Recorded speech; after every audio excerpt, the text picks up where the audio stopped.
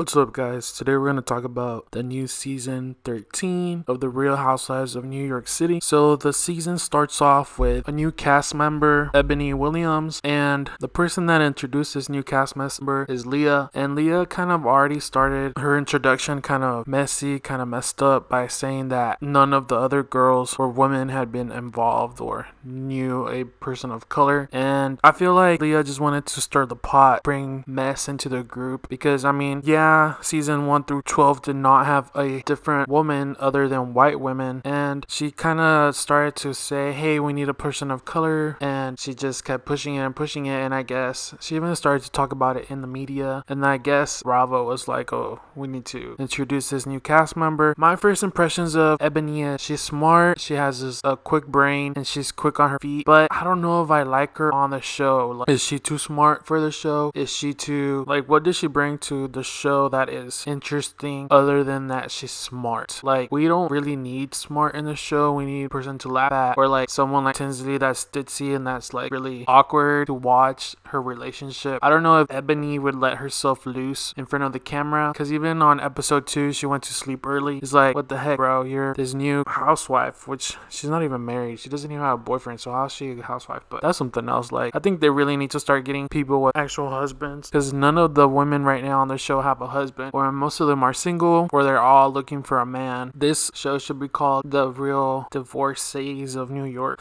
but so yeah, I'm not sure if I'm in love with Eboni at the moment, and especially her voice is kind of annoying. Like it's really like not pleasant, and I don't know. She kind of seems a little stuck up, but I'm still haven't really decided if she's a go or a flop. I'm really missing Dorinda, like her comments and just the way she is. I wonder if she regrets stepping out of the housewives right before COVID. I mean, because whatever her income was, or maybe she had planned other side businesses, like a lot of people regret. Like, I mean, they still had a job, so I wonder if her deals went fell through, kind of like Sonja's. And I really feel bad for Sonja. She's always looks like she's struggling for money. Maybe she doesn't know how to manage it. But like, even the most awkward scene was whenever Luann offered to buy her a shirt. That's so awkward. Like, people know that you're struggling for money. That they even offer you to buy you a shirt. Should aren't they known to be rich? Sonja, you need to get your bank together. And it's always so cringy that she's always trying to get people to rent her townhouse. Is like bro just sell it and just pocket the money and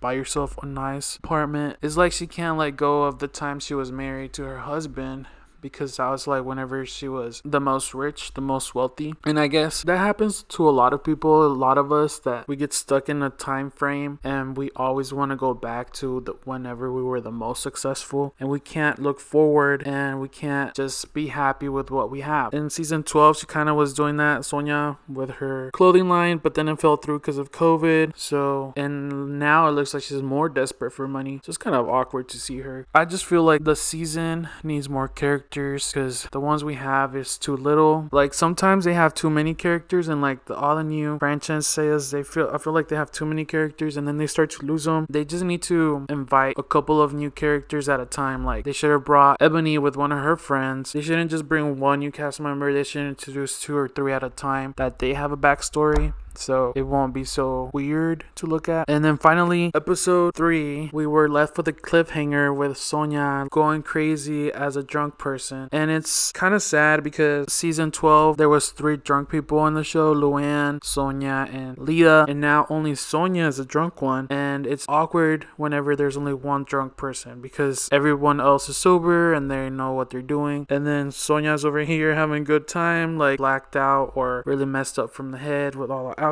and all the other ones are like looking at her like, dang. Luann's probably like, dang, I wish I could be her. And I don't know about Leah. I don't know if she faked it last time, but it looks like she's handling it too well. And then last season, it looked like she was a mess without alcohol. So how can you flip it? Like she either she was faking it really good, or Luann seems like she was triggered whenever like she was like, don't put that glass next to me. That was like, I mean, that, is she a full blown alcoholic? Does she just not know how to say no to temptation. Just the whole vibes about alcohol this season is so awkward to watch because Leah's over here saying like, "Oh yeah, I know how to handle it. Don't judge my drink, but I'll judge your drink." And then Sonja's over here having a meltdown over money and she's drowning in alcohol and it's just so awkward to watch the alcohol. Like last season it was fun without alcohol. They were all drunk, but this season they all wanna not drink. Only one person drinks See, and Sonja's still stuck in the past, but I feel like they need to get alcohol in their system. They're housewives. They need to bring it up. And episode two was it? Whenever they were screaming, like I feel like Leah tries to act drunk and scream but it's not the same because a drunk person acts way different than a person trying to act drunk. If you know what I'm saying. So last season I really enjoyed watching Leah. This season, not really. I think she's trying to poke. Like I don't know why she was yelling at Ramona the whole time over the COVID thing. It's like so weird, bro. Chill out. We were in a freaking pandemic. If she did or didn't, then that's none of your business. I feel I like Leah drunk rather than sober Leah because sober Leah is a little annoying and she's trying to be the it girl, but without alcohol, you're not the it girl. But yeah, thanks for watching. Until next time, leave a comment. What are your thoughts about the first three episodes?